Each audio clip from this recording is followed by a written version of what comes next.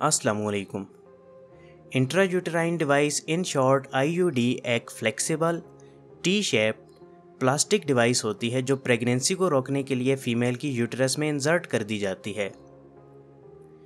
Intrauterine device की दो types होती हैं।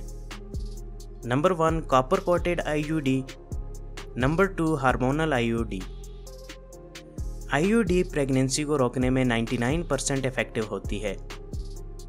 और इसके ज़रिए प्रेगनेंसी को तकरीबन तीन से दस साल तक रोका जा सकता है। इसलिए इस डिवाइस को बर्थ कंट्रोल के लिए बहुत इफ़ेक्टिव माना जाता है। आईयूडी को एक लंबी सी ट्यूब के ज़रिए यूट्रस में इंसर्ट कर दिया जाता है। इस डिवाइस के एंड पर एक स्ट्रैंड यानी धागा बांधा होता है। यह स्ट्रैंड आईयूडी के रिमूवल के वक्त काम आता है। यानी इस स्ट्रैंड से पकड़कर आईयूडी को खींचकर यूट्रस से बाहर निकाला जा सकता है।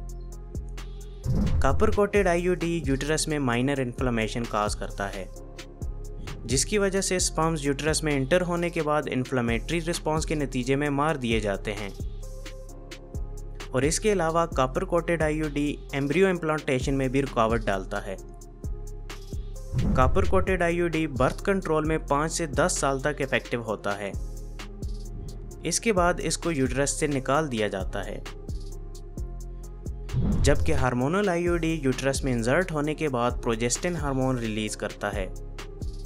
और ये हार्मोन सर्विक्स में मौजूद म्यूकस को थिक बनाता है, जिससे फिर स्पम यूट्रस में ट्रेवल नहीं कर पाता। इसके अलावा प्रोजेस्टिन हार्मोन यूट्रस की लाइनिंग में एंडोमीट्रियम को भी पतला कर देता है, जिसकी वजह से एग रिलीज़ होने के बावजूद यूट्रस में इम्प्लांट नहीं हो पाता। हार्मोनल आईयूडी बर्थ कंट्रोल में तकरीबन तीन साल तक इफ़ेक्टिव होता है। इसके बाद इसे यूजरेस से निकाल दिया जाता है। आईयूडी की सबसे ख़ास बात यह होती है कि इसे किसी भी वक्त रिमूव करवा के फ़ीमेल दोबारा से फर्टिलिटी गेन कर सकती है। शुक्रिया, अल्लाह हाफिज़।